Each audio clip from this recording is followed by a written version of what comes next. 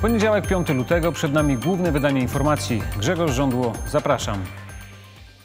To zdecydowanie nie są spokojne dni, jeśli chodzi o warunki atmosferyczne. Duże opady deszczu i silny wiatr powodują zagrożenie w wielu miejscach województwa śląskiego.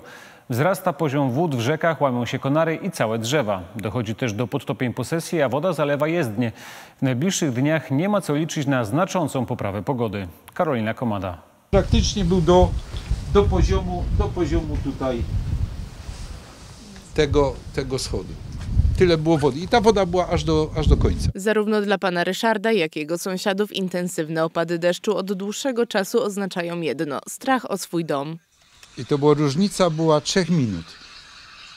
3 minut. Wjeżdżałem, to tu było sucho, tak jak teraz. Tylko woda płynęła tam. A wyjeżdżałem, to było 3 minuty różnicy. I było tyle wody. Problem z wodą na tej ulicy występuje od trzech lat. Gdy przyszła nawałnica, spowodowało to podtopienie tych wszystkich tutaj budynków. Myśmy generalnie te trzy domki były w wodzie, czyli wszystkie pomieszczenia, które znajdują się poniżej gruntu, y, były zalane, czyli garaże plus y, pomieszczenia gospodarcze, podejścia od wewnątrz do budynków. Natomiast, natomiast no, w tej chwili zaczyna to się systematycznie powtarzać. W całym województwie śląskim podobnych sytuacji jest więcej. Ziemia nie jest w stanie przyjąć wszystkich opadów, bo po opadach śniegu, a teraz deszczu jest już mocno nasiąknięta. Od dzisiaj rana Straż Pożarna w województwie śląskim odnotowała prawie 70 zdarzeń, głównie związanych e, z wypompowywaniem wody z zalanych jezdni, podtopionych posesji, niższych kondygnacji budynków, takich jak garaże, e, piwnice. Najwięcej tego typu zdarzeń odnotowali strażacy na północy województwa w powiecie częstochowskim, mieście Częstochowa. Obfite deszcze doprowadziły do wzrostu poziomu wody w rzekach. Według Instytutu Meteorologii i Gospodarki Wodnej najgorsza sytuacja jest na Brynicy wraz ze zbiornikiem Kozłowa Góra, gdzie odnotowano stan alarmowy. W innych miejscach w regionie, m.in. na Kłodnicy czy Przemszy, występują stany ostrzegawcze. Reżim koryt rzecznych jest w tej chwili całkowicie zachowany, więc nie prognozujemy na ten moment ryzyka w najbliższych godzinach, przynajmniej lokalnych chociażby podtopień. Zachowane są również rezerwy powodziowe na zbiornikach, którymi administrują Wody Polskie. Jest to kilkanaście dużych obiektów mm, hydrologicznych wielofunkcyjnych na terenie województw śląskiego i opolskiego. W gotowości do pracy jest także suchy zbiornik przeciwpowodziowy Racibórz Dolny. Sytuacja jest nieustannie monitorowana, bo jak wynika z prognozy pogody, deszcze ustąpią dopiero za kilka dni. W najbliższych dniach y, to będzie podobnie wyglądało, zwłaszcza jutro, w na środę i jeszcze w środę. Y, Właśnie te opady deszczu i silny wiatr się jeszcze będą utrzymywały. Y, Jutro te porywy troszkę może słabsze, do około 65 km na godzinę. Zmiana pogody szykuje się od czwartku. Wtedy właśnie ochłodzenie, y, no i opady śniegu nawet mogą się pojawić. Z tym, że no czwartek w ciągu dnia około 2 na plusie, więc gdy śnieg nie będzie padał, to no tak i tak się będzie topił. Z kolei na weekend synoptycy przewidują znaczne ocieplenie i wzrost temperatur do 14 stopni. W ciężkim stanie przebywa w szpitalu 22-latek z Sosnowca, który w piątek po południu spadł z 15-metrowej ścianki spinaczkowej Skarpa w Bytomiu. Jak mówią pracownicy obiektu, to doświadczony sportowiec, który niejednokrotnie pokonywał tę trasę. Tym razem coś poszło nie tak, a okoliczności wypadku badają funkcjonariusze Wydziału Kryminalnego Bytomskiej Policji. Do internetu wyciekło nagranie z upadku, które, jak mówią rodzice chłopaka, pochodzi z jego prywatnego telefonu. Fatima Orlińska. Młody sportowiec może mówić o naprawdę dużym szczęściu. Przeżył upadek z wysokości 15 metrów. 22-latek w ciężkim, ale stabilnym stanie przebywa w szpitalu. W wyniku upadku doznał wielu poważnych obrażeń. Przeszedł kilkunastogodzinną operację. Czekają go kolejne zabiegi. Za nim jest y, 12-godzinna, czy ponad 20 12-godzinna operacja, y, gdzie ma poskładane y, nogi, y, z tego co wiem miednicę, y, jedną stopę, ma do zrobienia jeszcze chyba jedną piętę czy tam stopę i jedną rękę. Rękę prawdopodobnie jutro o 12 będzie miał zabieg. Tam są poniszczone, no, no, nogi y, są poniszczone.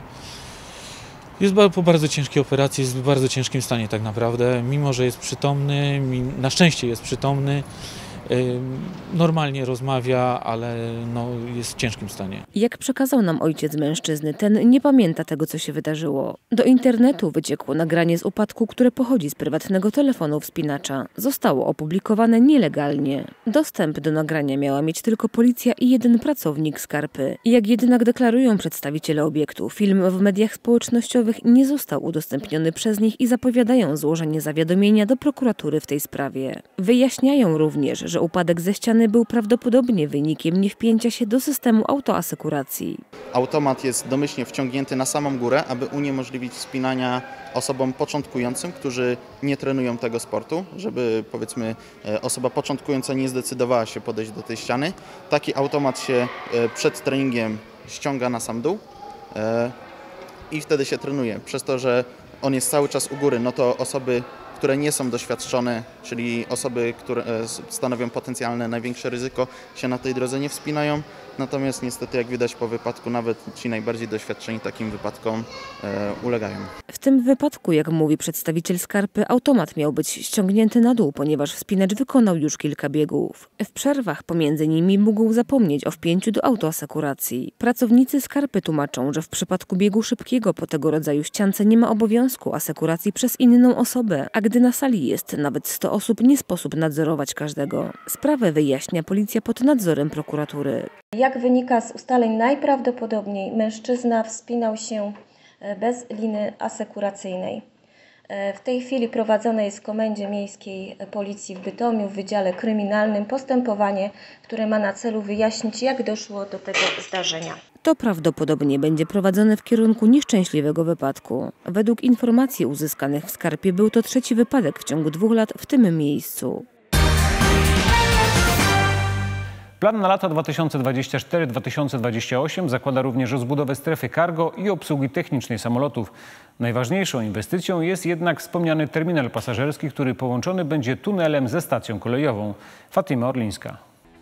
Na lotnisku w Pyrzowicach powstanie nowy terminal pasażerski. Będzie miał dwie kondygnacje i powierzchnię prawie 50 tysięcy metrów kwadratowych. Znajdą się w nim kontrola bezpieczeństwa paszportowa, hala odlotów i przylotów bagażownie i stanowiska odprawy biletowej. Powstanie również multimodalne centrum przysiadkowe. Takim y, też głównym elementem rozbudowy infrastruktury jest rozbudowa infrastruktury parkingowej.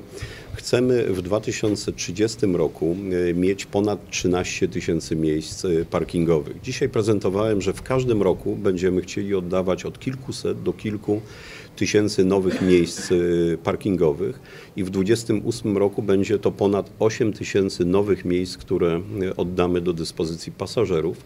W tym pierwsza część parkingu wielopoziomowego to jest 1500 miejsc oddanych w 2028 roku i to będzie parking najbliżej y, zlokalizowany tego nowego budowanego terminalu. Według prognoz za 4 lata z katowickiego lotniska może korzystać nawet 8 milionów pasażerów rocznie, co ma przełożyć na ponad 350 milionów złotych przychodu. Do przebudowanego portu ma zostać dostosowany również układ drogowy, dobudowany drugi terminal cargo, a zatrudnienie ma znaleźć w przyszłości 8 tysięcy osób. To prawie dwa razy więcej niż obecnie. My musimy zapewnić y, szybkie i sprawne obsłużenie pasażera.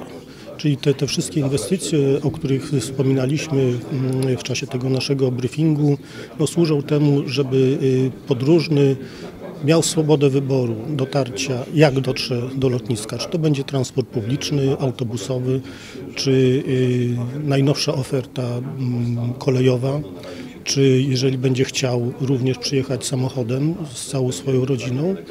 Y, ten ostatni środek transportu jest y, szczególnie popularny wśród podróżnych wakacyjnych. Nowy terminal ma być zaprojektowany tak, by w przyszłości mógł zostać rozbudowany. Są plany, by w ciągu ośmiu kolejnych lat z lotniska korzystało 10 milionów podróżnych w skali roku, a dalej nawet 15 milionów. Całość ma kosztować 1,5 miliarda złotych, z czego dużą część Górnośląskie Towarzystwo Lotnicze już pozyskało z kredytu. Lotnisko chce się też postarać o pieniądze z Unii Europejskiej.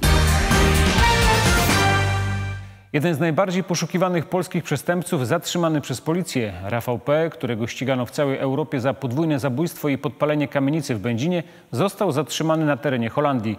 Teraz czeka na ekstradycję. Rafał P. w 2006 roku podpalił kamienicę przy ulicy Modrzejowskiej w Będzinie. W środku śledczy znaleźli zwłoki dwóch osób, 59-letniej właścicielki budynku i 47-letniego dozorcy. Okazało się, że nie zginęli z powodu pożaru, a obrażeń głowy. Najpierw Rafał P. został skazany na dożywocie, ale później uniewinniony. Dopiero w 2019 roku zaocznie usłyszał ponownie wyrok dożywocia. Po tym jak został ogłoszony e, wyrok skazujący go na dożywocie, ukrywał się poza granicami kraju. Za mężczyzną został wydany list gończy, europejski nakaz aresztowania i został oznaczony czerwoną notą Interpolu. E, wnikliwa praca służb e, pozwoliła na ustalenie miejsca przebywania osoby poszukiwanej. Ukrywał się w Holandii. Rafał P. został zatrzymany w sobotę 3 lutego przez śląskich kontrterrorystów w Holandii. Zabił, a potem podpalił budynek, bo miał u jednej z ofiar zaległości czynszowe za wynajmowany lokal.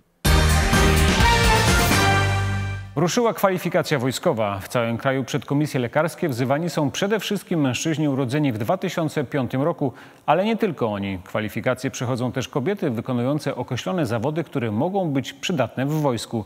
Paweł Jędrusik. Wśród wielu młodych ludzi kwalifikacja wojskowa wciąż wywołuje lekki niepokój. No na pewno jest stres, ale jak już się przyjdzie, to znika ten stres w jakimś tam stopniu i jest znacznie lepiej od razu. Stres faktycznie jest niepotrzebny, bo służba wojskowa nie jest w Polsce obowiązkowa, a kwalifikacja to obecnie właściwie tylko procedura administracyjna. Wiele osób yy, kieruje się tak naprawdę fake newsami, które mówią, że kwalifikacja wojskowa to jest pobór wojskowy i że za chwileczkę po kwalifikacji dostanie kategorię i wsadzą go na ciężarówkę i wywiozą na front. To nie jest absolutnie prawda. Tak jak mówiłem wcześniej, kwalifikacja wojskowa odbywa się corocznie i polega na wprowadzeniu danych yy, do ewidencji. Do wojska mogą trafić osoby, ale te, które chcą. Początkujący żołnierz, który nie ma jeszcze ukończonych 26 lat, może zarobić około 5 tysięcy złotych. I mimo, że za wschodnią granicą trwa wojna, to wojskowi nie widzą spadku zainteresowania służbą. Jest to ważne, ale yy, za mało jest chyba gadane o tym po prostu. I młodzi ludzie z góry oceniają po prostu, że wojsko to jest źle i tak dalej. A moim zdaniem...